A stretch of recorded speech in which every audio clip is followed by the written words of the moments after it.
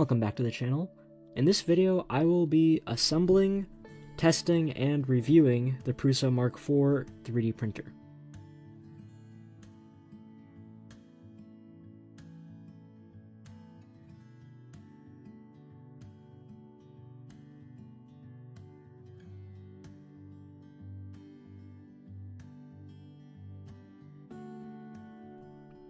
Really early into the build, I actually ended up running into some problems with attaching the clips onto the sort of base beams of the printer, and I actually got one stuck. Uh, it was pretty difficult, but I eventually figured it out. And after removing the clip, I figured out that the way to attach the clip was actually to push on it on two sides at the same time and it hurt my fingers a little bit, but I was able to get through all seven clips that way.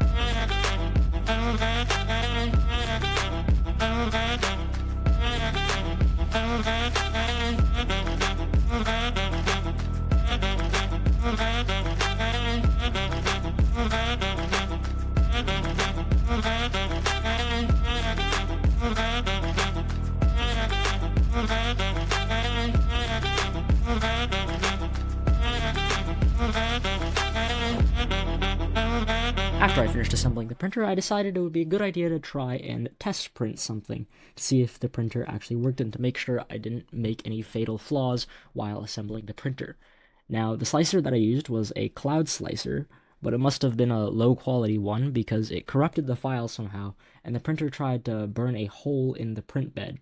So that was quite unfortunate. I had no idea what to do. I, at first, I didn't even know it was the sliced file until I properly sliced it on the Prusa slicer and learned that it was the software that was the problem, not the assembly. I would recommend using one of the provided files rather than one of your own sliced files to test the printer for the first time to make sure there are no mistakes with the assembly.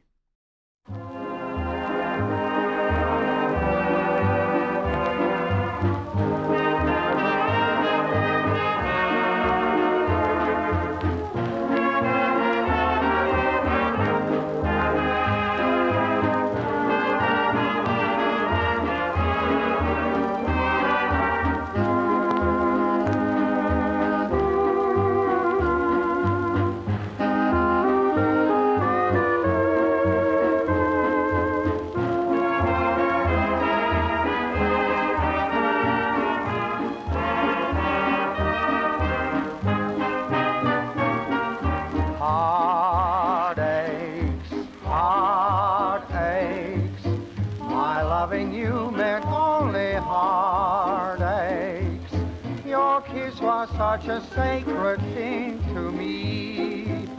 I can't believe it's just a burning memory. Heartaches, heartaches.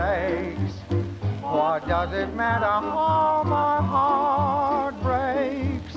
I should be happy with someone new, but my heart aches for you.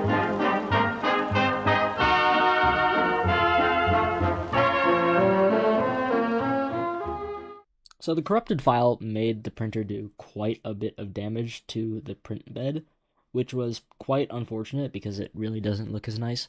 But luckily for me, the damage was on the corner of the print bed where the printer doesn't actually print anything, so I'll still be able to print things normally.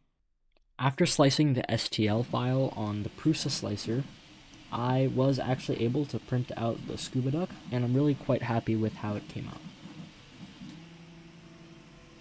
There it is.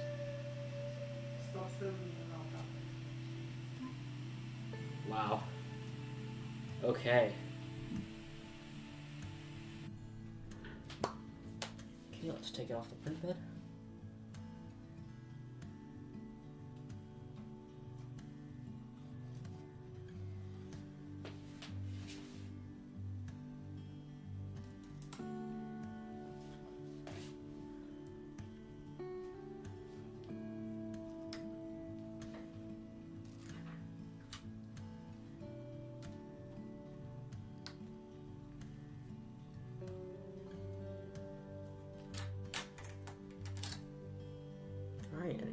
Came right off. I'm gonna remove the supports, clean this thing up a little bit, and see how it came out.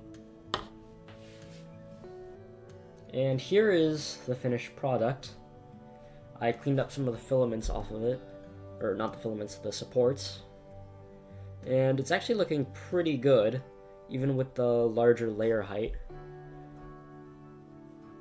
It's a little bit hard to see with the black, but it does look like the original STL file, which is a scuba duck. You can see his mask, little oxygen tanks on the back, and even his little snorkel. The top looks a little bit ugly with all the circles and everything, but the sides look pretty good. Bottom is perfectly flat. And you can see the individual layers because of the thicker layer height again. Overall, it came out pretty well, and uh, a lot better than the first attempt where it just burned a hole in itself. So, I'll call this a success. Overall, I had a really good experience with assembling the Prusa Mark IV. I would really recommend getting the kit rather than the pre-made printer because you just learn so much about the 3D printer, how it works, the mechanisms and everything. And you also save a little bit of money when you get the kit rather than the pre-made printer. It prints really well, really high quality prints, and it does them really fast. It can print several different kinds of materials, and although it's very pricey, I would say it's definitely worth it. It's got a very straightforward design, it's very simple, and it just works really well. Overall, just an absolutely great experience with this printer. Anyway, guys, that's it for this video. Don't forget to like and subscribe if you enjoyed. I really appreciate it when you do this. This video it cost a lot of money and took a lot of time. Just getting the printer alone cost $1,600. It was super expensive, but worth it nonetheless. And building the printer took me about 8 to 10 hours of just straight work, and I did it in multiple sittings, not just one. I think it's impossible to do in one sitting. Uh, I'll have a few more simpler, shorter videos coming soon, maybe. I've got a few ideas. Nothing more in this video. Thanks for watching, and I'll see you in the next one. Peace.